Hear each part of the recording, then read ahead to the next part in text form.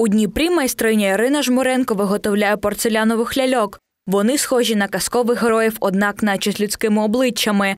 Захоплюватися таким мистецтвом жінка почала, коли їй 10 років тому подарували порцелянову ляльку.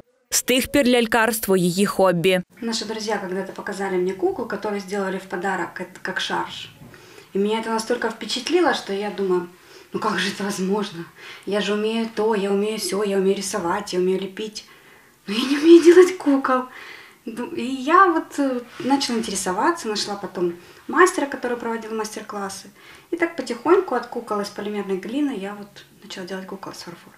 За цей час світ побачила понад сотня ляльок. Майстриня каже, процес виготовлення деталей кропіткий та складний. Один невірний крок і все зійде на нівець. Створення однієї ляльки триває не менше місяця. Изначально я сп- леплю куклу из скульптурного пластилина. Ну, это как раз вот момент такого рождения куклы, то есть какая она будет, э, какое-нибудь лицо и поза, руки, я что-то продумываю. Потом технические моменты, снятие формы, отливка фарфора, сушка, много часов шлифовки фарфора, несколько обжигов. Творческий процесс э, одевания куклы, он вообще может быть бесконечным.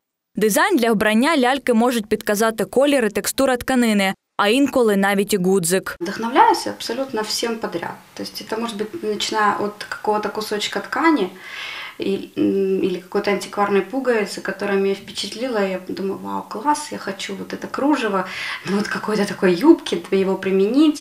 Проте унікальності та характеру лялька набуває лише після розпису обличчя.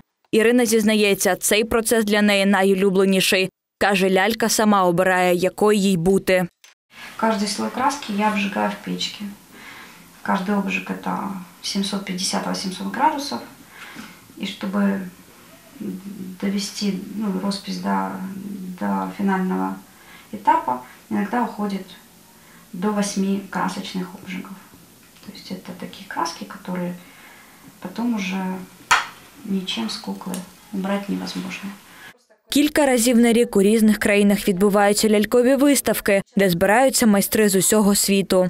Саме там більшість ляльок Ірини знаходять своїх хазяїв. Майстриня каже, частіше за все серед поціновувачів колекціонери. Наразі побачити світ готується ще декілька порцелянових ляльок Дніпрянки. Марія Требушенко, Олександр Вернигоров, Open News, телеканал відкритий.